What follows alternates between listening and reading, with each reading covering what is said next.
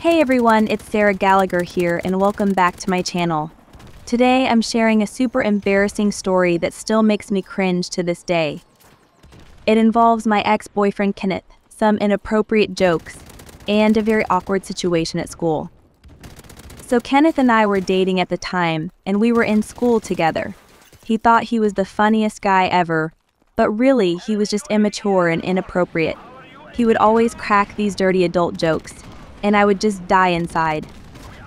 I mean, I get that he thought he was being funny, but really, he was just being stupid. Up one day, we were in the cafeteria, and he started telling these jokes again. I was trying to ignore him, but he just kept going. He said some really inappropriate things, and some of my friends overheard him. They were so offended and they started turning their backs on me. I was like, Kenneth, stop.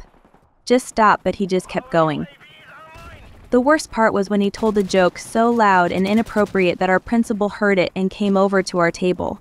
He was like, Kenneth, that's not appropriate at all. And Kenneth was like, What? It was just a joke. And I was like, No, Kenneth, it was not just a joke. It was stupid and inappropriate. And the principal was like, Sarah, you need to distance yourself from this behavior. And I was like, Yes, sir. I will. After that, I started to distance myself from Kenneth and his behavior.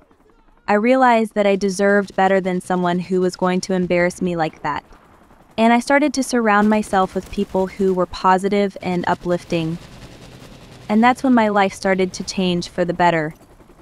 I learned that you're the company you keep, and if you surround yourself with people who are negative and hurtful, people are going to think that's who you are, too. It was a hard lesson to learn, but I'm glad I learned it. Thanks for watching, guys, and don't forget to subscribe for more embarrassing stories and adventures.